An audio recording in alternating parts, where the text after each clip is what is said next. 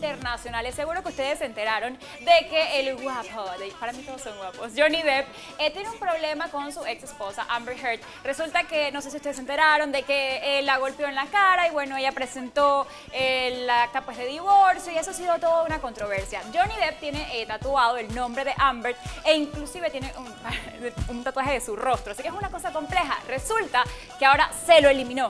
¿Cómo? Vamos a ver. Griffith se borró el nombre de su ex esposo Antonio Banderas de su brazo, asimismo ha hecho Johnny Depp, quien se borró los tatuajes que se hizo en honor a su expareja Amber Heard. El actor de la saga de Piratas del Caribe modificó los tatuajes que tenía puesto. Slim, que era el apodo de Heard, lo cambió por Loom y el dibujo que tenía de ella en el brazo lo cubrió con otra figura. ¿Qué les parece?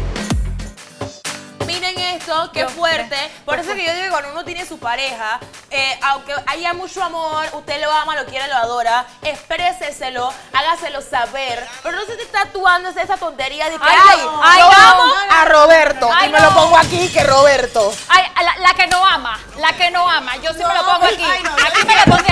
Te amo, mi a Julio, aquí, aquí. Aquí. me lo- aquí. Ay, cuidado que... La, la- la Laura es la que no ama. ¿Tú no te tatuajes. Según las personas que me conocen saben, no tengo ningún tatuaje, no tengo ningún piercing, no tengo ningún problema con el que se lo hace, pero sinceramente yo siento que tatuarte el nombre... La loca. No. La, la loca.